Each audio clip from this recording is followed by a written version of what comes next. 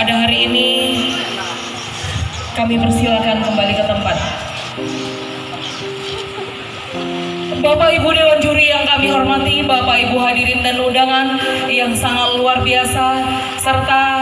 seluruh personil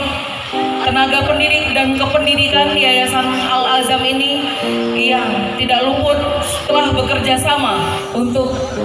kesaksian acara yang kita